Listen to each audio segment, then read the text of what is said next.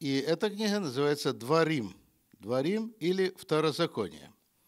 «Эли дворим ашер дебер Маше, эль коль Исраэль, бе авар Ярдан, бе медбар бе арава, мульсов бен паран увен тефель, ве лаван хацерот, веди загав».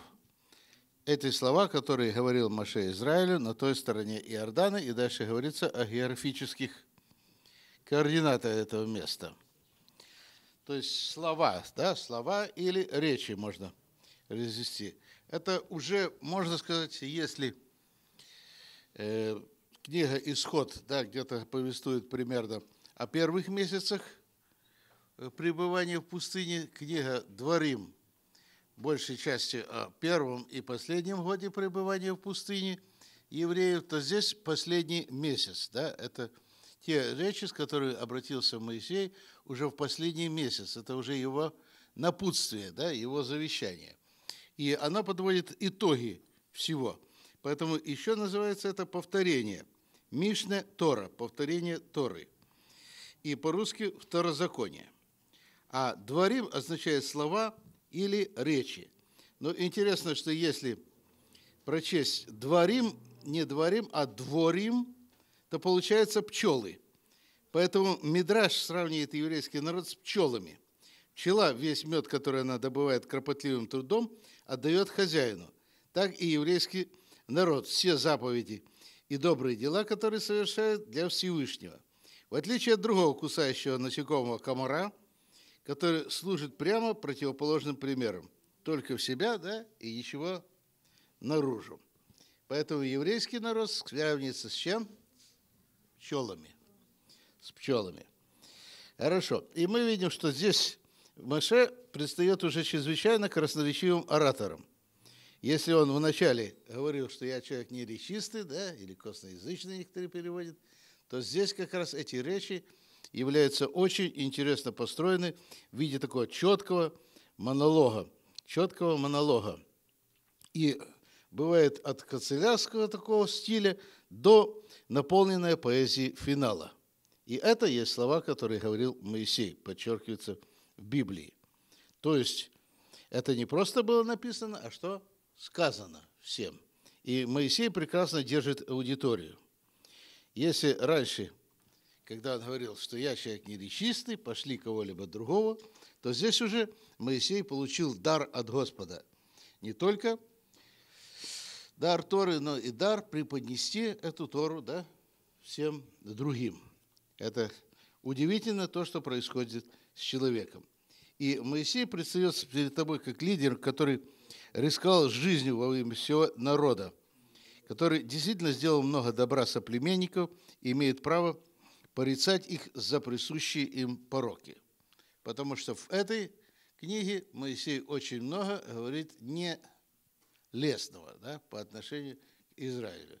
Вообще, если вот вы можете заметить, что лучше всех говорил об Израиле, ну, можно сказать, антисемит Белям, да? Вот. А хуже всего пророк э, Исаия в первых шести главах. Вот если взять первые э, до шестой главы, да, первые пять глав пророка Исаия, и э, опубликовать в каком-либо антисемитском журнале на современном языке, да, в современном стиле, прям такие антисемитские строгие вещи, да? Да. Но Маше, видите, он имеет такое право обличать, потому что он сам был готов умереть за израильтян, так же, как и Павел, правда? И Маше наверняка долго ждал этого момента. Вот 40 лет накопилось, и наконец-то это все вылилось наружу. Да? И э, Библия поэтому делает такой упор на том, в каком месте и при каких обстоятельствах была произнесена прощальная речь Моисея. И здесь описываются и впечатляющие победы на поле брани, но с другой стороны – описываются, опять повторяются многие законы, хотя есть несколько заповедей, которые не содержатся в предыдущей книге. И как раз когда уже Моисей говорил это, он передал бразды правления Егоша. Поэтому никто не мог сказать, что он обличает и обвиняет с целью свести счеты с политическими противниками. И начинается с самого такого наболевшего вопроса, это вопроса разведчиков. Здесь эти разведчики уже называются мераглим, не туристы, да, а те, которые ходят ножками, пешие разведчики. И поэтому здесь э, рассказывается с первой главы 19 стиха по 46 стих пересказ эпизода с разведчиками и его печального финала. А дальше говорится о тех переходах, которые шли евреи, и о завоевании страны Сигона и страны Ога, и о разделе восточного берега реки Иордан между коленами Реувена, Гада и половиной колена Менаше. Сейчас э, в этой области какая страна находится? Восточнее Иордана. Иордания. Ну, Иордания или Трансиордания вначале она называлась, была создана искусственно одним единственным человеком. Кто это был? Уинстон Черчилль, да? Он так взял и разделил.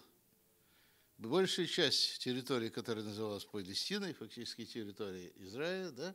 Если посмотреть, Израиль маленький, а Иордания какая? Большая. Вот это вся территория, которую отдал арабам лично своим, так сказать, желанием. Один человек, Уинстон Черчилль. О нем можно сказать много хорошего, можно сказать много и плохого. Он, кстати, был лауреатом Нобелевской премии. По какой статье? Нет, как журналист. Как журналист. У него есть прекрасная книга о шестидневной войне. Я советую каждому почитать. Черчилля «Шестидневная война», так и называется. Да, да, «Шестидневная война». То есть очень такой своеобразный человек, о котором можно сказать много хорошего и много плохого. Итак, видите, новое поколение выросло. Те, которые были 40 лет назад, да, они умерли. Поэтому новому поколению нужно было преподать вот этот урок. Этот урок, связанный с разведчиками. Связанный с разведчиками.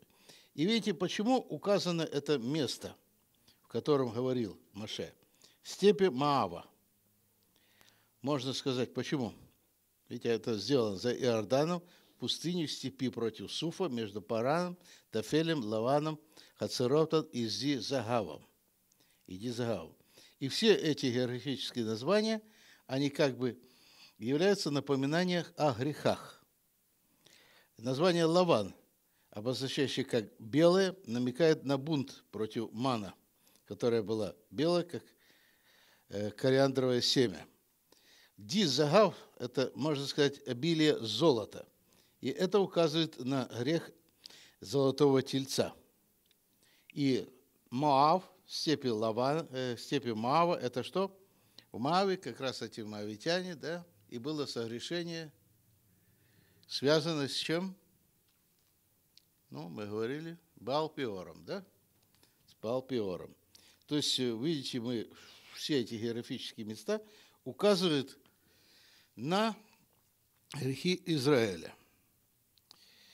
И говорится, что место, время обращения описано весьма подробно. И также указана дата, когда говорил Маше сынам Израилевым. То есть это конкретные места.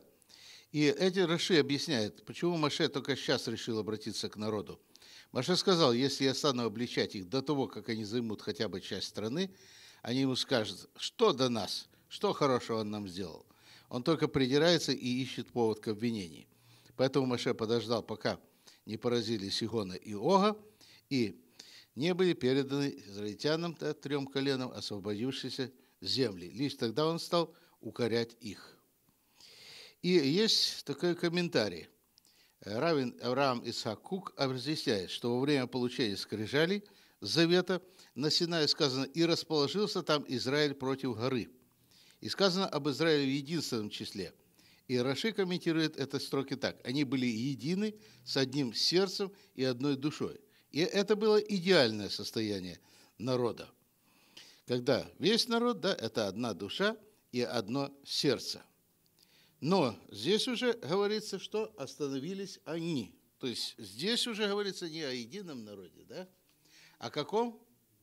каждый уже был сам за себя. Каждый думал что-то сам по себе. Они совершили много хорошего, но и не совершили много плохого. И вот для того, чтобы укорить их и добиться единства, да, Маше опять обратился к ним. Вы помните, что Дворим, глава, обычно читается рядом с девятым Ава. А девятая Ава – это весьма трагичный да, для истории еврейства день. И из Параша Шауа Дворим обычно соответствует 9 Ау, дню разрушения первого и второго Иерусалимского храма. Разведчики вернулись в стан 8 Ава, и всю ночь они что делали? Плакали, да?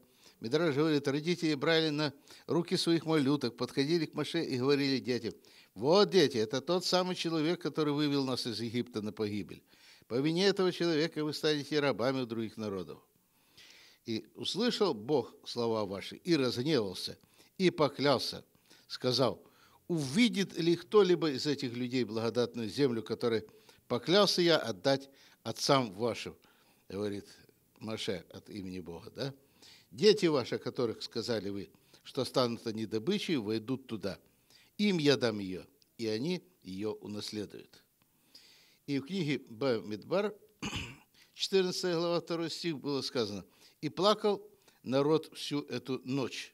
И Мидраж говорит, что воспылал гнев Бога, и он объявил, за то, что вы плачете сейчас без причины, будете плакать в эту ночь и будущем, но уже не напрасно. И вы помните, можете себе отметить, какие события происходили 9 ава. Был разрушен первый храм, был разрушен второй храм, 9 ава пал последний оплот повстанцев Баркохбы – крепость Бейтар в 135 году. И после этого был перепахан Иерусалим плугом, как поле, чтобы памяти о нем не осталось. И даже саму страну Израиля, Иудею, да, они переименовали как Палестину.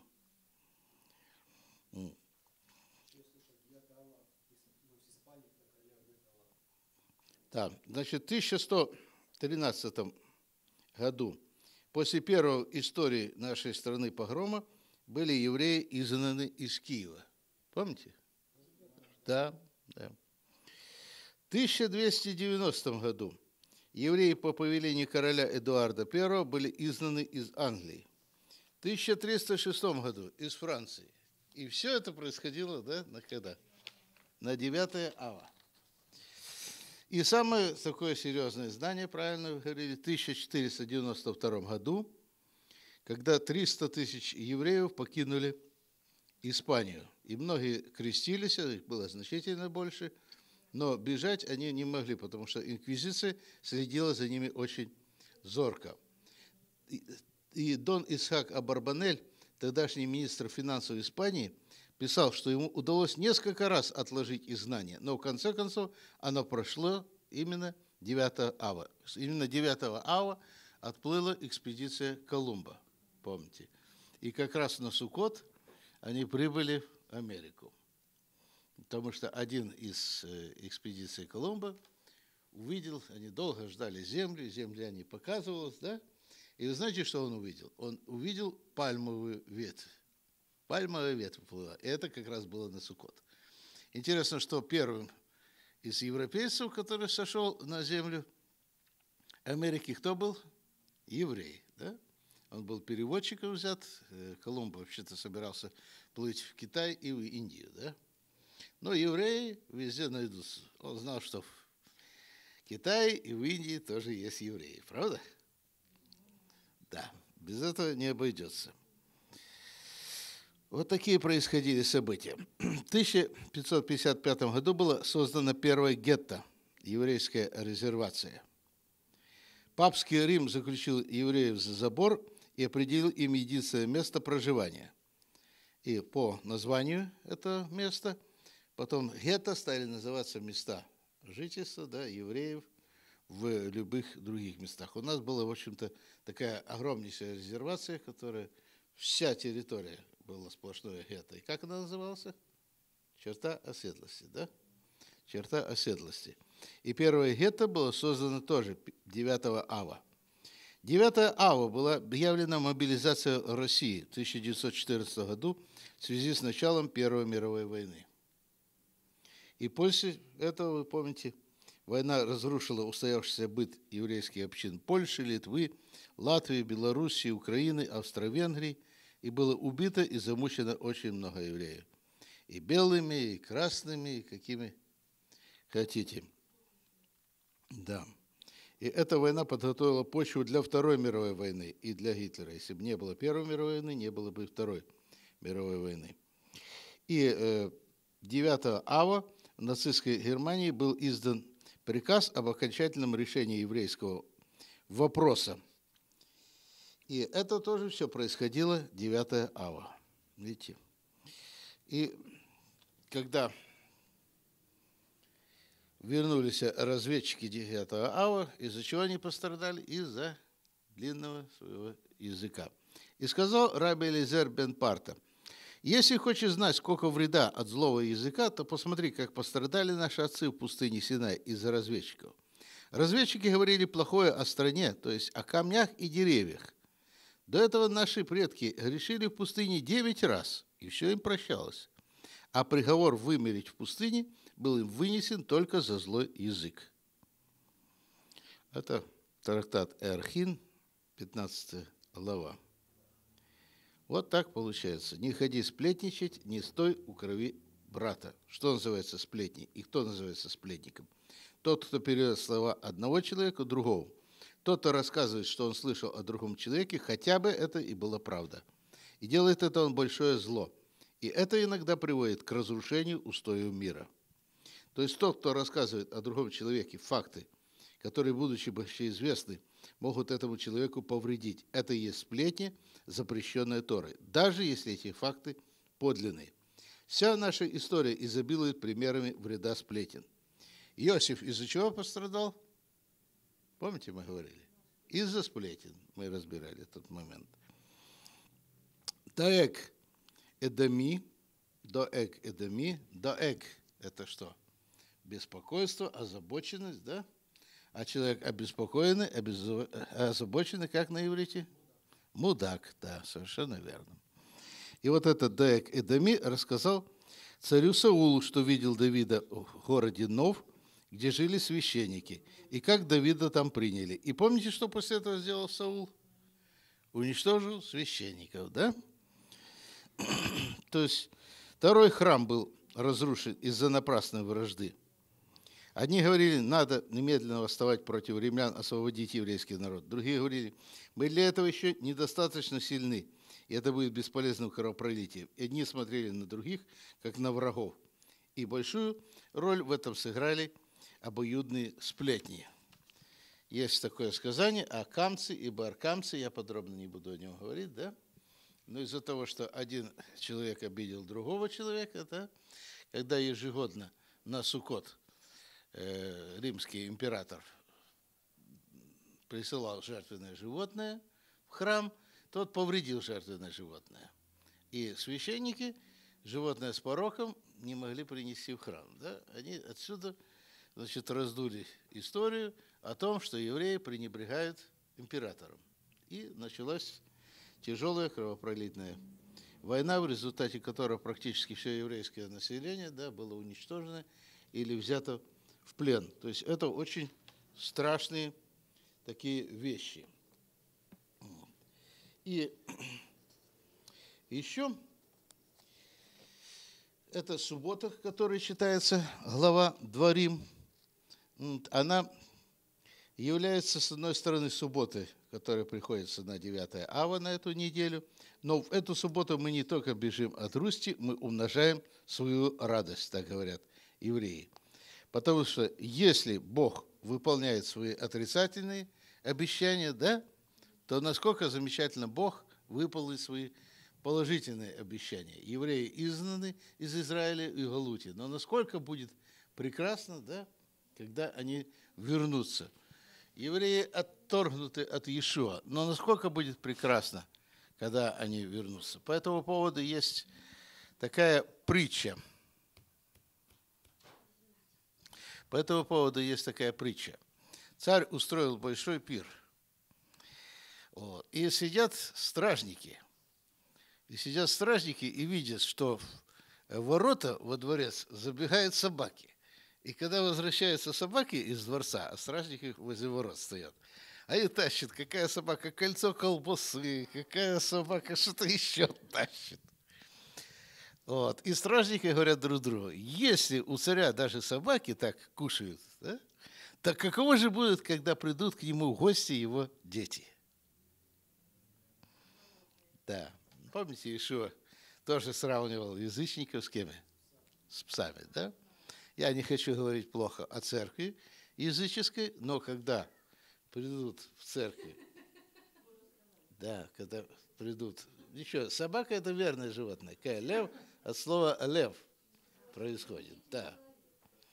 Вот, вы знаете, я так тоже вот думал. Да, я, я, вот, я вот тоже так думал, знаете, э, волшеб, волшебник из удрудного города. Вот смотрите, Шехина, да, оказалась изгнана злой волшебницей из дома отца. Шехина Эли, да? Возвращается в дом отца. Но для того, чтобы вернуться в дом отца – она должна помочь разным людям. Одному приобрести мудрость, другому сердце. Это, помните, качество царя. Вот. Э, третьему что там? Должна приобрести э, так, железному дровосеку сердце, кому там еще? А, льву надо было еще храбрость приобрести, да? Это качества, которые нужны нам для того, чтобы вернуться в дом отца. И там она встречает некого – человека, который себя называет великий и ужасный. Однако это не тот, который Господь есть великий и ужасный. И он так и не может отправить ее домой, правда? Так он и не может ее отправить. Это лже-мессия, лже-пророк или антихрист. Вот. Но конец в конечном счете, когда она достает серебряные башмачки, да, она обувается на аль. На аль – это имеет глагол «оле». Она обувается, да, обувь для благосостояния всему миру. Она оказывается чудесным образом, Рох Элохим подхватывает ее и приносит в дом отца. И тогда моя жена спрашивает меня, когда я начинаю рассказывать, вы знаете, я ее убалтываю. Я страшный садист по убалтыванию людей. И вот она меня спрашивает – Говорит, а кто же тогда Татошка? Я подумал, подумал, а Татошка, говорю, это язычники в церкви. Так говорит еврейская традиция. Итак, когда сыны придут на пир царя, насколько им больше достанется, чем этим псам, правда? Которые бросают со стола очень вкусные вещи. Поэтому это также суббота радости. И эта суббота связана с изгнанием, и это день видения – связано с будущим светом. И Шульхан Арух говорит, что в этот день позволительно устроить пир, то есть не на 9 ава, а на субботу, да? На неделю, которой приходится 9 ава, устроить пир не хуже того, что устраивал царь Шлома, восходя на царский престол, как предвкушение будущего пира. Вот. И суббота, который э, читает Дворим, всегда предшествует дню 9 ава. И получилось название Шаббат Хазон. Это суббота видения. Суббота видения. Хорошо. И по первому слову главы из книги пророка Исаи, который читает в эту субботу после недели чтения Торы. Да. Хорошо. И в Библии часто бывают трагические монеты, когда торжествует зло. И надо вопрошать не почему, а как. Эйха, да, Эйха, плач Иеремии. Вот это тоже читается в это время, на 9 ава, да, плач Иеремии. О, как, да. Но главная причина, значит, плач Иеремии – там с первого стиха, первый, э, первая глава первого стиха, о как, да, о как печален город, который находится да, в разрушении. И надо говорить не почему это случилось со мной, а как случилось это со мной. Хорошо. Итак, что же это напрасная ненависть? Напрасная ненависть называется синат хинам. Напрасная ненависть называется синат хинам. И напрасная ненависть – это глубокая внутренняя болезнь. Напрасная ненависть перевышивает три самых тяжелых нарушения запретов Торы. Первый раз храм был возвращен евреям через 70 лет, а во втором случае храм до сих пор не возвращен. Видите? Идолопоклонство. Первый храм был разрушен из-за идолопоклонства. Да? Второй храм из-за чего был разрушен? Из-за ненависти. И евреи говорят, что ненависть, она хуже идолопоклонства. Беспричинная ненависть убивает человека, да? Поэтому беспричинная ненависть, помните, хуже, хуже трех запретов Торы. Беспричинная ненависть, она хуже убийства. И беспричинная ненависть хуже прелюбодеяния, потому что тот, кто ненавидит человека, он не может любить Бога. Да? А ненавидящий Бога, он кем является? Прелюбодейцем по определению. Хорошо. Так. И мы знаем еще из-за какой ненависти беспричинной был, из-за беспричинной ненависти – выдающихся всех руководителей евреев к кому? К Иешуа Мессии. Была это причинная ненависть? Без причины. Да, оно, это зависть была, это злоба, они видели того, кто делает чудеса именем Божьим, и не вразумлялись. И не вразумлялись, правда? Да. Хорошо. Значит, Тут пропустим несколько страничек. Да, из еврейских, из еврейских комментариев. В Дворим 1 главе 34-39 стих сказано. «И услышал Господь голос речей ваших, и разневался, и поклялся. Никто из людей этих, из этого рода, не увидит доброй земли, которую я поклялся отдать отца вашим. Только Калев, сын Ефуне, и Калев, вы правильно сказали, это собака – да, он увидит ее как или, может быть, как собака, да, а может быть, как сердце. Потому что собака – лев, корень, да, лев. Да, отдам ему землю, который ходил сам, и сынам его за то, что он повиновался Господу. И на меня прогневался Господь из-за вас, говоря, и ты не войдешь туда. Егоша, сын ну, настоящий перед тобой, вот он придет туда – его утверди, ибо он передаст его во владение Израилю. Дети же ваши, о которых вы говорили, что добычей станут они, и сыны ваши, которые ныне познали еще, что добро и зло, они войдут туда, им и отцам ее, ее и они унаследуют ее. Им отцам отдам ее, да, им отдам, то есть я ее, и они унаследуют ее.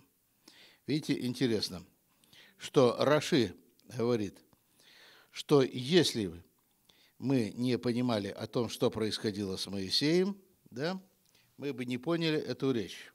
Бог запретил не только тем людям, которые явно согрешили в грехе разведчиков, да, но и Моисея, который в то время он согрешил или не согрешил. Он ходатайствовал за народ Израиля, правда?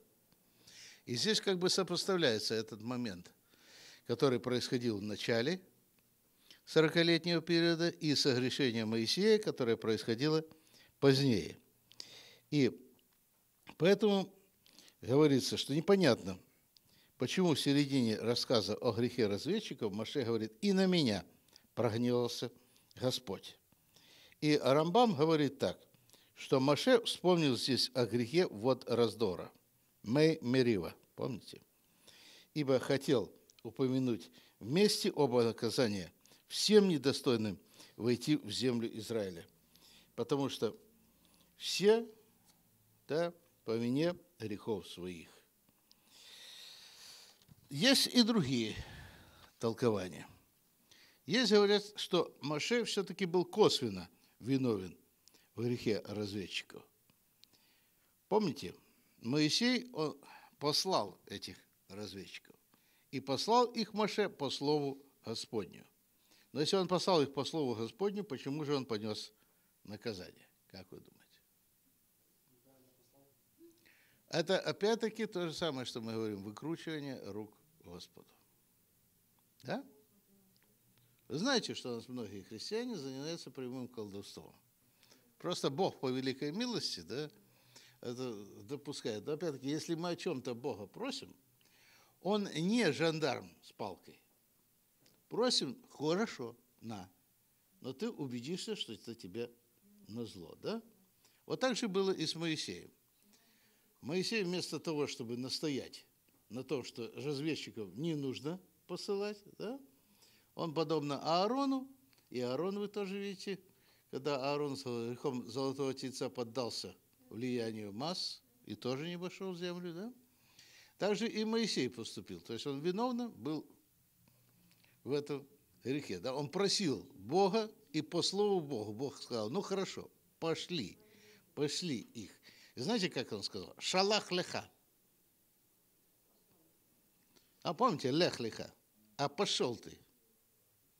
А пошли вы. Точно. Вот. Пошли, пошли их от себя, да? Вот так вот грубо тоже сказал, потому что Моисей наставил перед Господом.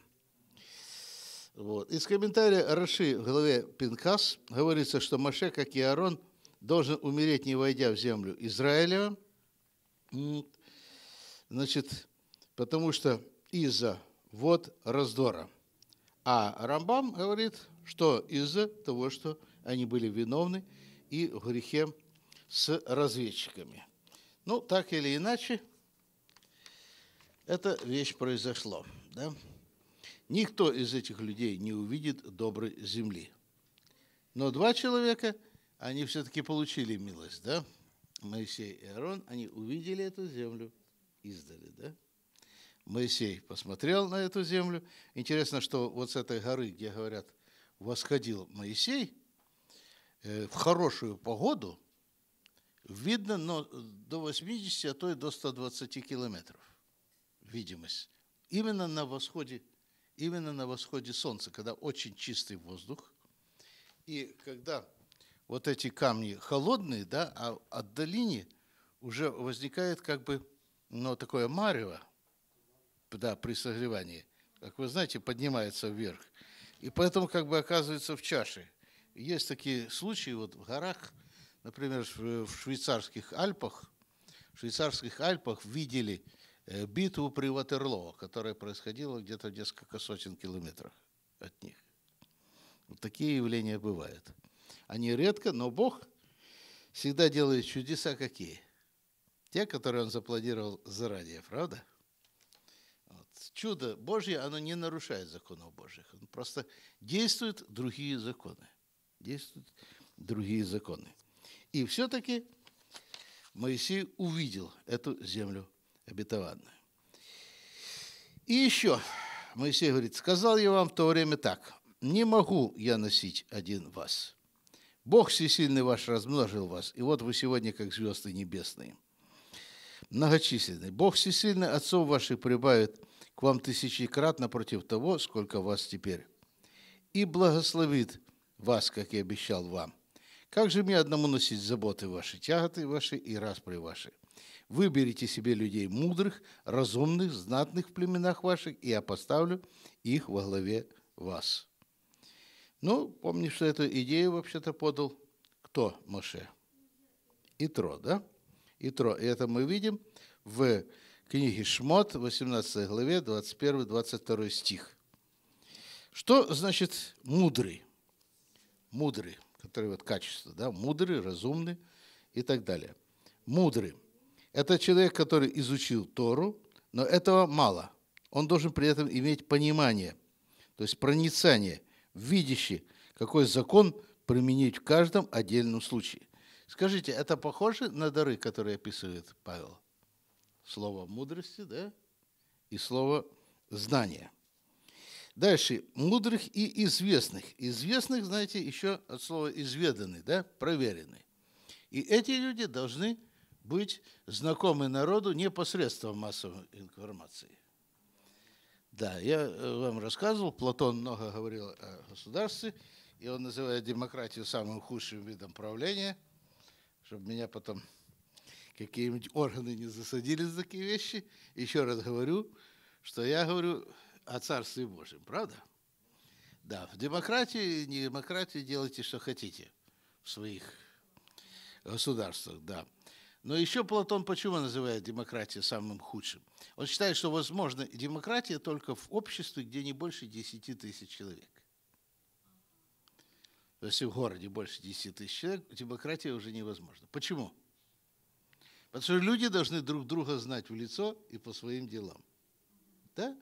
Это максимальное количество людей, которые может человек охватить в своем знании. Значит, 10 тысяч человек. И они должны точно знать, что делает этот человек, а не то, что говорят средства массовой информации. Да? Итак, мудрых, известных. Известных, да? Еще говорится знатных или главных. Главных. Главные. Еще говорят люди сильные, известные, главные. Рош, да, главный. Помнишь? Помните, говорится? Раш, Рош глава от слова глава. И говоря современным языком, эти люди должны были быть исполнительной властью или властью, обеспечивающей выполнение судейских решений. Они должны были обладать не менее высоким душевными качествами, чем судьи. Значит, были начальники тысяч, да, сотен, полусотен, десятков и смотрители – которые должны были следить за исполнением. Что же они должны делать? «И повелел я вашим судьям ту пору так, вы слушаете братьев ваших и судите справедливо, каждого с братом его и его соседом. Не давайте никому предпочтения на суде. Как малое дело, так и большое вы слушаете. И не бойтесь человека, ибо суд Божий. Итак, вы слушаете, да, и судите справедливо. Как нужно выслушивать? Внимательно, да? Слушание – это активный процесс, да? И судья должен точно вникнуть во все обстоятельства дела.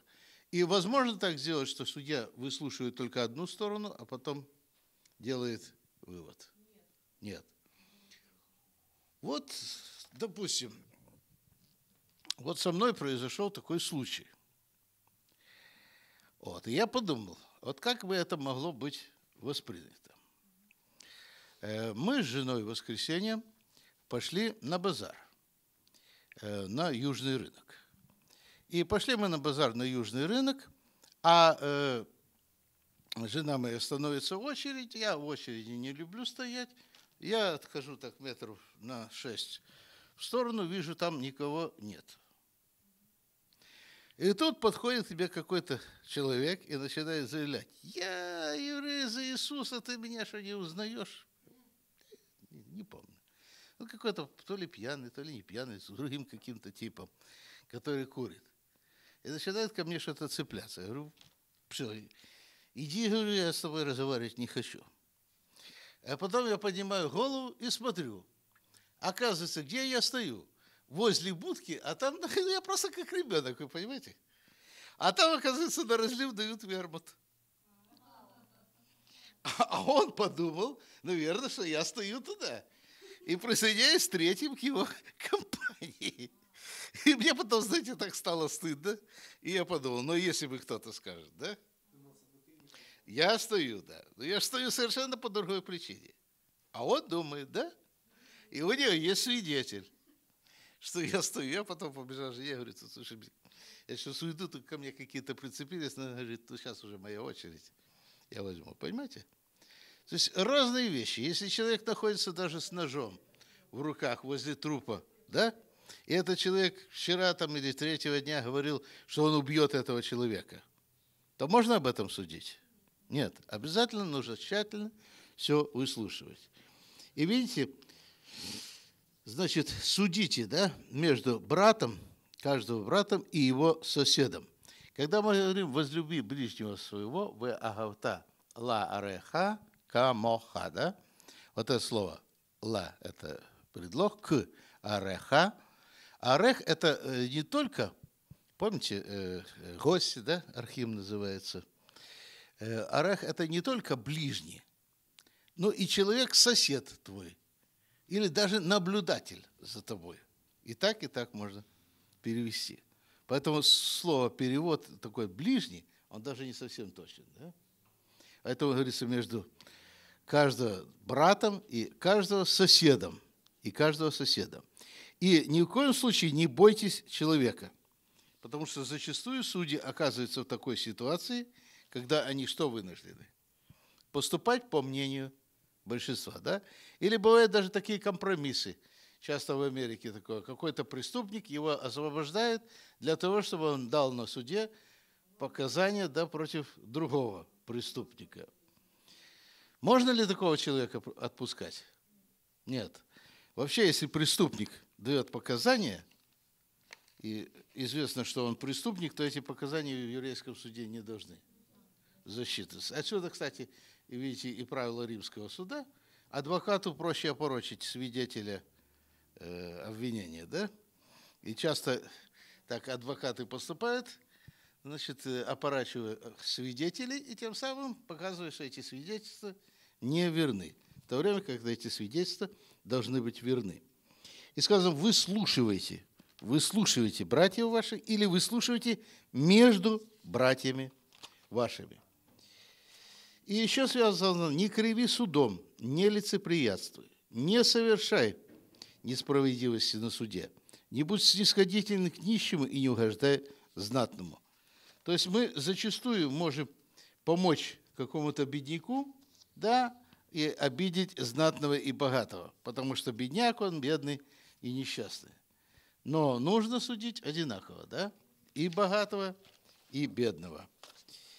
И сказано по правде суди ближнего своего. Что значит по правде? Всегда суди о ближнем своем. Какой стороны? С лучшей стороны. Говорит трактат Перкей, а вот первая глава, шестой стих. Хорошо, перерыв.